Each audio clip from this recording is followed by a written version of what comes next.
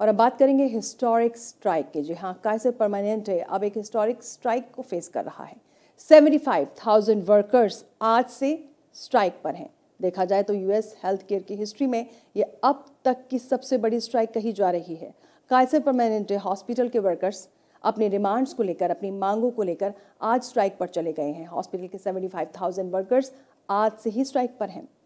ये three days strike कहा जा रहा है यूएस हेल्थ केयर की हिस्ट्री में। ये सबसे बड़ी स्ट्राइक अब तक की बताई जा रही है।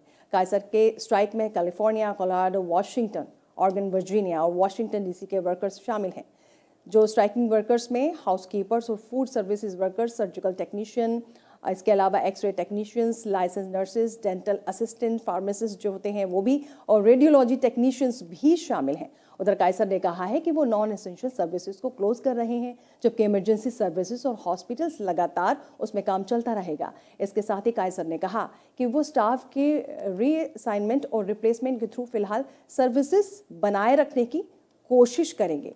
आपको बता दें कि कायसर एम्प्लॉयज़ यूनियन वेजेस को लेकर लंबे वक्त से कायसर मैनेजमेंट के साथ नेगोशिएशन कर रहे थे, उनसे लगातार बातचीत कर रहे थे, लेकिन जब बातचीत से कोई सॉल्यूशन नहीं निकला तो वर्कर्स स्ट्राइक पर चले गए। उधर कायसर मैनेजमेंट का दावा है कि वो अपने वर्कर्स को सबसे ज़्यादा वेजेस देता है।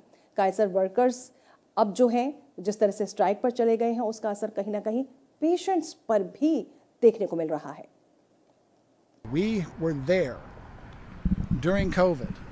Frontline healthcare workers were there for our patients, for our communities. We were touted as healthcare heroes.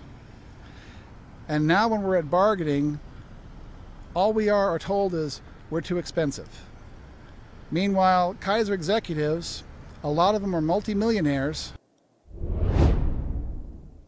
तो मेडिकल वर्कर्स स्ट्राइक पर है अब तक की सबसे बड़ी स्ट्राइक यूएस हिस्ट्री की वहीं दूसरी तरफ जो पेशेंट्स हैं वो किस तरह से परेशान हैं ये देखेंगे I have small cell carcinoma in my left lung.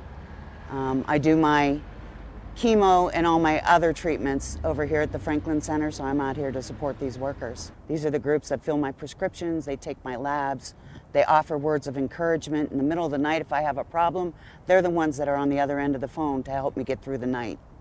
How could I not support them? I'm very worried because my chemo is scheduled for next week, and then I've got another cycle of chemo after that. I've got labs and prescriptions in between there. I don't know what I'm going to do because I won't cross the picket line. I can't. तो cancer patient को आप सुन रहे थे जिस तरह से worker strike पर गए हैं पेशेंट्स किस तरह से मुसीबत में आ गए हैं परेशानी में आ गए हैं ये आपने देखा वहीं डेनवर से president S E I U क्या कुछ कहा है उन्होंने ये देखेंगे This is never an easy, an easy, an easy choice for, for workers. Um, you know, I think what has really been clear to our folks is the bad faith bargaining at the table since April.